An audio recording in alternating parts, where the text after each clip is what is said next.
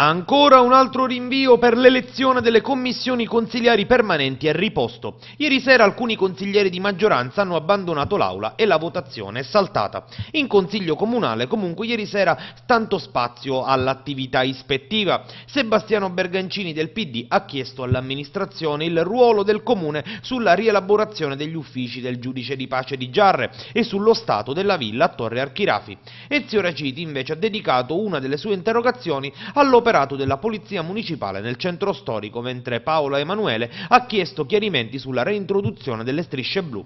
Giovanni Pennisi invece ha invitato l'amministrazione a farsi carico del problema legato ai tagli del personale all'interno del porto turistico Marina di Riposto. Poi, come detto, manca il plenum in aula e si rinvia all'elezione delle commissioni.